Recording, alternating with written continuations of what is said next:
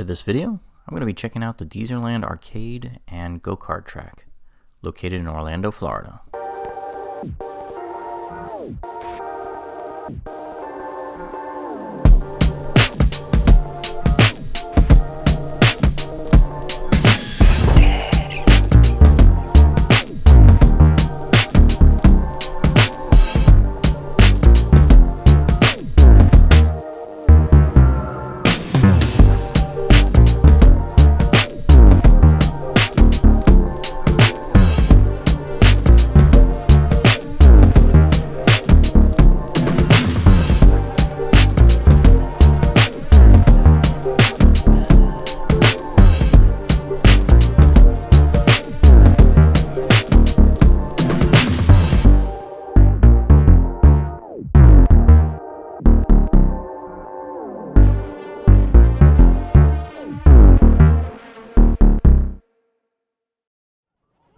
Well, it was inevitable. I really enjoy arcades, family fun centers, and go-kart tracks, so I decided to check one of the newer ones. Uh, Dezerland kind of opened in the middle of the pandemic, circa 2019, and they've been gradually expanding and building here on International Drive in the, the heart of Orlando when it comes to tourist attractions. Uh, there's a ton of arcades competing with this one. You know, there's massive arcades at Fun Spot and Magical Midway, and Wonderworks has one. There's so many uh, arcades that you can lose track. Uh, it just happens to be, you know, the nature of the, the tourism business. This supposedly is the absolute largest arcade in Orlando, and I think that's what they claim in, in the marketing materials, and I would say that that probably should have an asterisk next to it.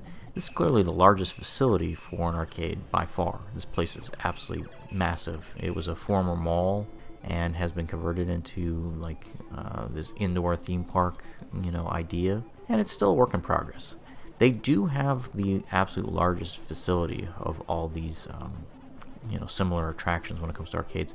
When it comes to the arcade machines themselves, they really don't have a lot of arcade machines. Most of the stuff they have are like uh, games of chance, like skee ball and um, the crane kind of games and those type of things where you're pulling things out of like you know those big ball pits and stuff. So when it comes to arcade machines themselves, it's actually kind of thin, and I was surprised at how few classic arcade games they had. You know, I didn't see Galagas and Pac-Mans and Defenders and Froggers and that type of stuff, which most arcades usually have a couple of the classics, but everything that they had was mostly racing games and, um, you know, Dance Dance, like Revolution type games. They didn't have a lot of, of like traditional arcade machines, and, and you know, I, I definitely noticed those type of things.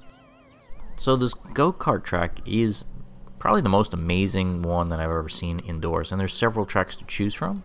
Uh, the one thing I will say is because it's an indoor go-kart track, there is a price premium over traditional outdoor go-kart tracks. For example, if you go to Magical Midway or Fun Spot down the street on iDrive, it's going to be a lot less expensive. It cost me about $30 to go a couple laps around this track, and that's pretty pricey. I mean, I don't think it's a. I mean, I, it, it comes down to your personal preferences. Personally, I don't care if the go-kart track is indoor or outdoor, so I think moving forward, I'd probably go back to go-karting outside just because it's so much less expensive for me. So what's the bottom line for Dezerland Arcade and go-kart track?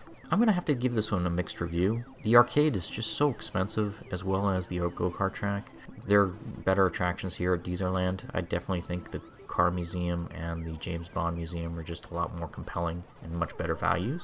Uh, you can easily drop 50 bucks an hour uh, playing those arcade games because a lot of those machines are two, three dollars. And the other thing I don't like about the arcade is you'll notice that they have like four or five, six, ten of the exact same machines lined up, like skee ball and those ball drop machines. Whereas I kind of wish they had more variety of, of machines. The oversight that I also found was that they lacked the classics, like, you know, the Pac-Man, the Froggers. You know, if they had a couple of those compilation machines that had like 20 like classics, like, you know, Galaga and uh, Frogger and, and, and Moon Patrol and all those old classic games, then I'd probably give the arcade a much higher review. They do have a really nice uh, prize department where you can redeem a lot of impressive prizes. Probably the best selection when it comes to uh, prize redemption. But overall, like I said, I'm going to give this an overall mixed review. It's solid, but it's definitely a work in progress. Thanks for watching this episode of The Adventure Schmuck. If you enjoyed today's video, don't forget to like and subscribe. See everyone next week.